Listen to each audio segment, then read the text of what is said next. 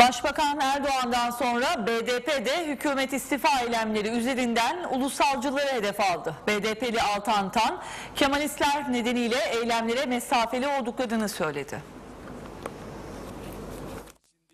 miadını doldurmuş Kemalizmi nasıl yeniden diriltebilirizin gayreti içerisinde. Bu kitleyle bizim en ufak bir birlikteliğimiz, beraberliğimiz olamaz. AKP ve BDP Türk bayraklı hükümet istifa eylemlerine karşı birlik oldu. Mustafa Kemal'in askerleriyiz diye sokağa çıkanlar.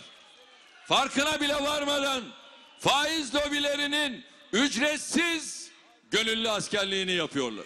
Başbakan Erdoğan gibi BDP'li Altan Tan'ın da hedefinde ulusalcılar vardı. Türkiye'de laikçi, kemalist, ulus devletten yana son dönemlerde kendilerini ulusalcı diye nitelendiren, miadını doldurmuş Kemalizmi nasıl yeniden diriltebilirizin gayreti içerisinde. Tan, ulusalcıların alanlarda olması nedeniyle eylemlere mesafeli olduklarını açıkladı. Bu kitleyle bizim en ufak bir birlikteliğimiz, beraberliğimiz olamaz. BDP'li Tan, Erdoğan'a Kemalistler yüzünden çözüm süreci heba edilmesin çağrısı yaptı. Laikçileri, ulusalcıları, kemalistleri gerekçe göstererek yeni Türkiye ile ilgili bir irade ortaya koymazsa yine en büyük zararı sen göreceksin bunun farkında olmalısın uyarıyoruz.